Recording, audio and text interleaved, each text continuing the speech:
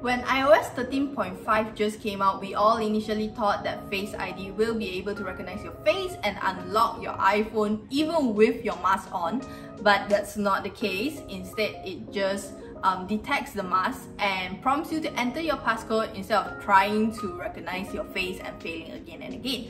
But finally, after 9 long months, you can unlock your iPhone even with your mask on and without entering your passcode.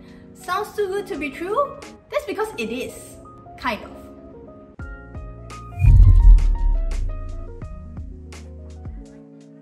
So yes, you can unlock your iPhone without removing your mask and without entering the passcode, but here's what you need, an Apple Watch. So if you own an Apple Watch, this is a yay news for you, but if you don't, you're stuck with what iOS 13.5 had to offer. Alright, so here's how to do it. Now we're currently using iOS 14.5 and Watch OS 7.4. Both are beta versions because the public ones aren't out yet.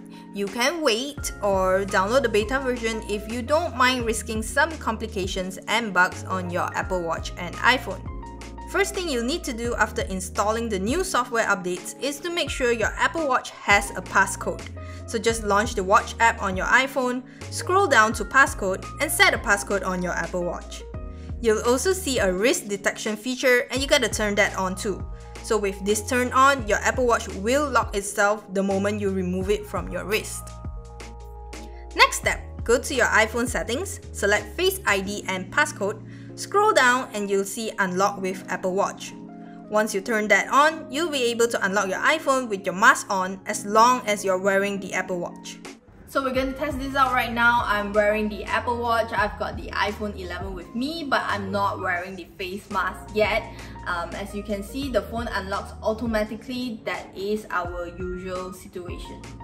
So now we're gonna put a face mask on I've got the Apple Watch with me, right? I'm wearing it and it unlocks automatically also and I also get this um, slight vibration and notification saying that the iPhone was unlocked with this Apple Watch. Okay, so let's see what happens if I don't wear the watch. So I'm removing the watch, I've got my mask on, I raise the phone, um, it tells me swipe up to unlock so you are prompted to enter a passcode and it also tells you that you can unlock with your Apple Watch. One thing you should know is the first time you put on a watch, you'll need to enter the passcode on the watch and after that you'll be able to unlock your iPhone without needing any passcode from the Apple Watch or the iPhone itself.